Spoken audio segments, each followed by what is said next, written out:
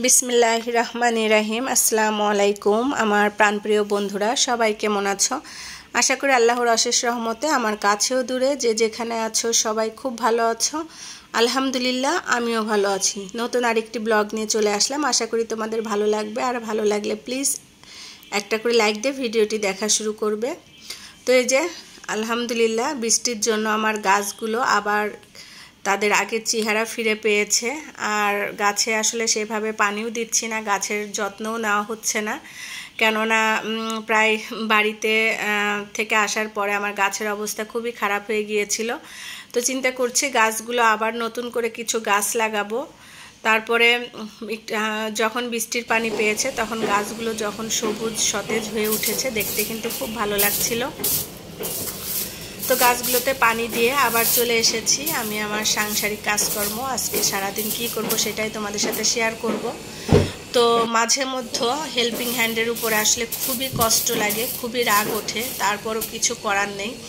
কেননা আমার বাসার যে আপাটা কাজ করে, তাকে আমি বলেছিলাম যে আপনি যেদিন আসবেন না, সেদিন কিন্তু অবশ্যই আমাকে ফোন দিয়ে জানাবেন যে, আপা, আমি আসতে পারব না। তাহলে কিন্তু আমি আমার রুটিন মতো কাজগুলো সেরে নিব। তাহলে আর আপনার জন্য অপেক্ষা করব না।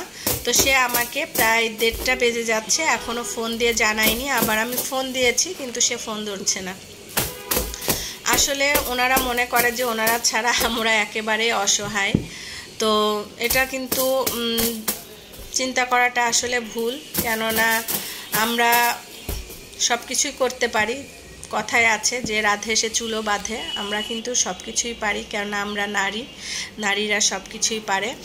হয়তো বা একটু কষ্ট হয় এটাই। তো উনি আসলে আমার ঘরটা ঝেড়ে মুছে দিয়ে যায়। তারপরে ঘরটা ছাড়া মুছার থাকলে কি হয়, আমার অনেকটাই কষ্ট কম হয়ে যায়। আমি খুব তাড়াতাড়ি রান্নাটা সেরে নামাজ কালাম পড়ে নিতে পারি। আর এই কাজগুলো করতে গেলে আমার নামাজ কালাম পড়া দেরি হয়ে যায়।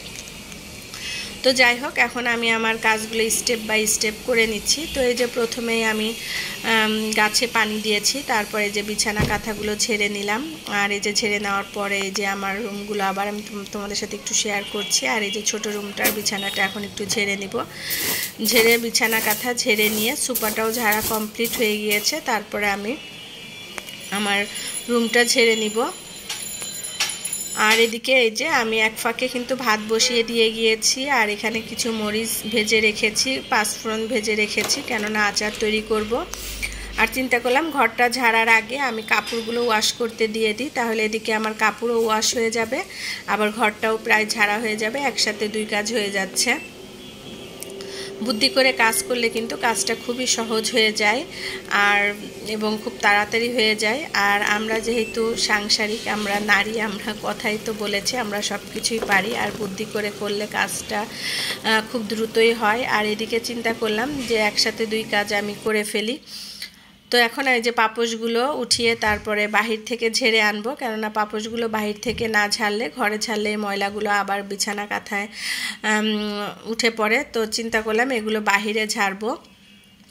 আর বোয়াদের কাজ কিন্তু আসলে একেবারে ক্লিন না, মোটামুটি, কিন্তু করার কিছু নেই যে বললাম। এখন আমরা নিরুপায় নিরুপায় হয়ে তাদের কাজ আমাদেরকে এখন পছন্দ করতে হচ্ছে। তো আজকে আমি ঘরটা একটু ভালো করে ছেড়ে নিব, কেননা ঘর মুছবো না। ঘর মুছলে কিন্তু আমার রান্না বাড়া আরও দেরি হয়ে যাবে। বড় মেয়ে এসে খাওয়া দাওয়া করেও আবার ব্যাচে চলে যাবে। আর ঘরটা একটু ভালো করে ঝাড়লে কিন্তু আর মোছা লাগে না। যেহেতু আমার ঘর প্রতিদিনেই মুছা হয়, যার জন্য একদিন না মুছলে আর তেমন একটা সমস্যা হবে না। তো এদিকে এই যে ঘরটা কিন্তু আমি ভালোভাবে ক্লিন করে নিচ্ছি। কোনা কোনা থেকে ময়লাগুলো বের করে নিচ্ছি। তাহলে পরবর্তী থেকে আর এই ময়লাগুলো বের হবে না ফ্যানের বাতাসে এবং ঘরটাও পরিষ্কার পরিচ্ছন্ন থাকবে। আর আমি ঘরটা ভালো করে ঝাড়লে কিন্তু মনে হয় ঘরটা মুছে নিয়েছি। তো আমি সবসময় আমার বাসায় যে কাজ করে তাকে আমি বলি যে, আপা, আপনি ঘরটা কিন্তু ভালো করে ঝেড়ে নেবেন। ঘর ঝাড়লে কিন্তু মোছাটাও খুব সুন্দর হয়। ঘর ঝাড়াটা যদি সুন্দর হয় তো এদিকে এই যে আমার এদিকে ঘরটা ঝাড়া কমপ্লিট হয়ে গিয়েছে। এবার এই দেখো কতগুলো ময়লা, এই ময়লাগুলো এখন উঠিয়ে নিব। আর পাপোশগুলো যে যেখান থেকে যেটা নিয়েছি সেখানে আবার রেখে দিব পুনরায়।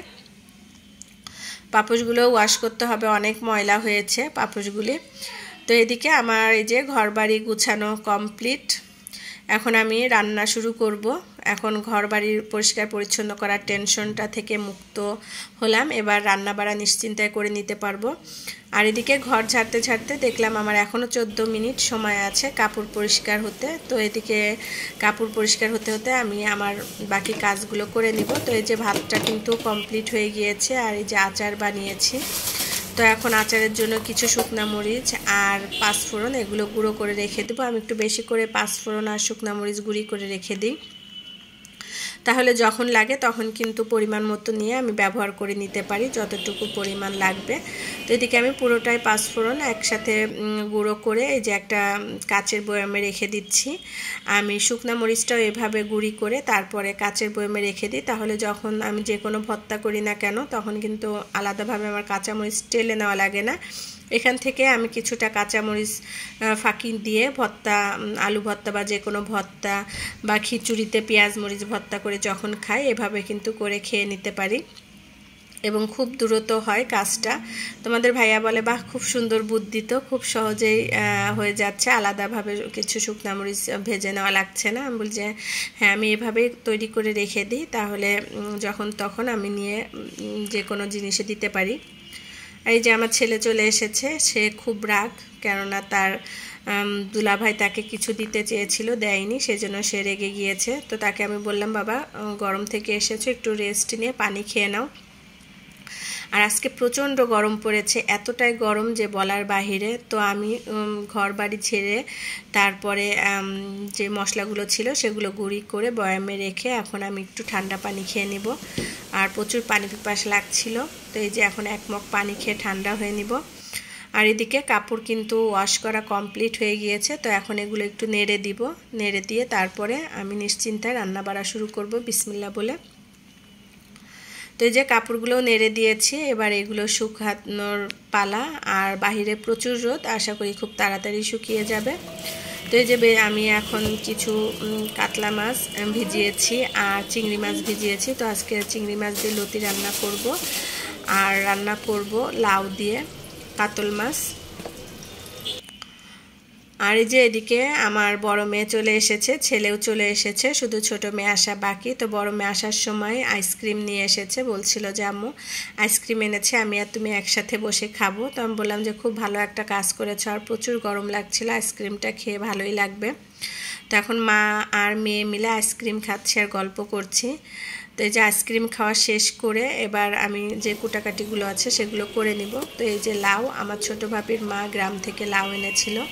লাউ দিয়েছে, আম দিয়েছে, সেই ভিডিও আর করা হয়নি। তো এই যে লাউটা দিয়ে এখন আমি কাতল মাছ রান্না করব। লাউটা কিন্তু মোটামুটি ভালোই কচি ছিল। তো এই যে লাউটা এখন আমি কেটে নিচ্ছি। আর কুটাকাটি করা থাকলে রান্নাটা কিন্তু খুবই দ্রুত হয়ে যায়। আর লাউ দিয়ে, বড়ি দিয়ে কাতল মাছের ঝোল রান্না করব।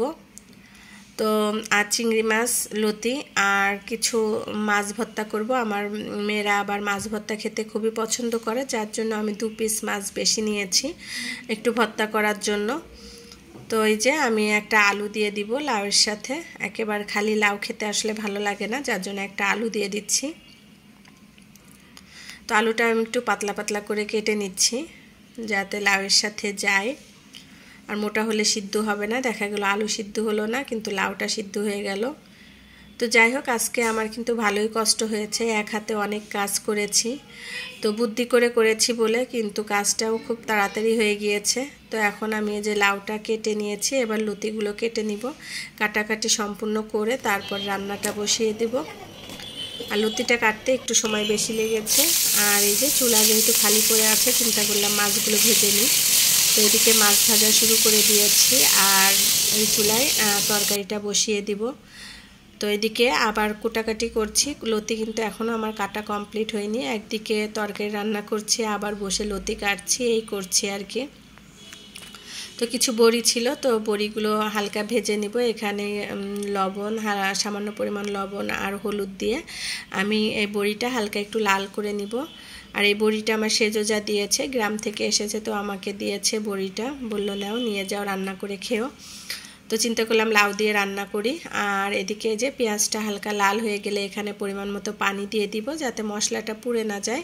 তো এখানে যে ধনে পাউডার, মরিচ পাউডার, হলুদ পাউডার এগুলো দিয়ে দিলাম পরিমাণ মতো। তারপরে দিয়ে দিব স্বাদ মতো লবণ দিয়ে মশলাটা একটু ভালোভাবে কষিয়ে নিব। তারপর দিয়ে দিব এখানে রস রসুন পেস্ট আর জিরা পাউডার। তো এদিকে মশলাটা কষানোর পরে আমি দিয়ে দিব যে সবজি কেটে নিয়েছি, সেই সবজিগুলো দিয়ে দিব। তো এই যে মশলা কষানো কমপ্লিট হয়ে গিয়েছে, এবার লাউ আর আলু দিয়ে ভালোভাবে মিশিয়ে নিব। আর এভাবে লাউ, আলু, বড়ি দিয়ে রান্না করে খেতলে কিন্তু খুবই ভালো লাগে। তোমরাও ট্রাই করে দেখবে। আর বড়ি কিন্তু এখন সবাই কম বেশি খায়, আর এটা কিন্তু দোকানে কিনতেও পাওয়া যায় রেডিমেড। তো এটা হলো আমাদের গ্রামে, আমরা নিজের হাতে বড়িগুলো তৈরি করি। আর নিজের হাতে তৈরি করা বড়িটা খেতে আমাদের কাছে বেশি ভালো লাগে। কিনা বড়ি আমি এই পর্যন্ত খাইনি। তো এই যে ঝোলের পানি দিয়ে দিয়েছি আর তরকারিটাও প্রায় হয়ে এসেছে। এবার পরিমাণ মতো এখানে মাছ দিয়ে দিব আর দুই পিস মাছ রেখে দিব মেয়েদের চোখে ভর্তা করে দেওয়ার জন্য। তো এই যে এদিকে আমার রান্না প্রায় কমপ্লিট হয়ে এসেছে। এবার আমি নামানোর আগে কিছুটা ধনে পাতা দিয়ে দিব। ধনে পাতা দিয়ে তারপর এটা আমি নামিয়ে নিব। তো দেখো, দেখতে কিন্তু দারুণ লাগছিল। মশলা খেতেও খুব ভালো হয়েছিল। তো এখন আমি লতিটা বসিয়ে দেব। লতি কাটা কমপ্লিট হয়ে গিয়েছে। তো এখানে সব মশলার পরিমাণ মতো দিয়ে কিছুটা চিংড়ি মাছ দিয়ে মশলার সাথে কষিয়ে নিচ্ছি। কষানো হয়ে গেলে এখানে দিয়ে দিব লতি। এখানে লতি ভালো করে পরিষ্কার করে আমি ধুয়ে রেখেছি। তো লতিগুলো দিয়ে ভালোভাবে মিশিয়ে তারপরে ঢেকে দিব। আর এখন এই যে গোসল করে নামাজ কালাম পরে তারপরে যে মেয়েদের জন্য মাছ ভর্তা করতে চলে এসেছি। তো দুই পিস মাছ আমি আজকে ভর্তা করব। আর এভাবে করে কিন্তু মাছ ভর্তা করে খেতে কিন্তু ভালোই লাগে। তো প্রথমে মাছ থেকে আমি কাটা বেছে নিচ্ছি, আর মাছটা কিন্তু হালকা হলুদ লবণ দিয়ে আমি ভেজে নিয়েছি। আর এই যে শুকনা মরিচ টেলে রেখেছিলাম, সেখান থেকে কিছু পরিমাণ শুকনা মরিচ নিয়েছি, পেঁয়াজ নিয়েছি। আমি কিন্তু ভর্তায় একটু পেঁয়াজের পরিমাণ বেশি দিই, কেননা পেঁয়াজটা মুখে বাঁধলে কিন্তু অনেক মজা লাগে। আর দিয়েছি কিছুটা ধনিয়া পাতা আর খাঁটি সরিষার তেল।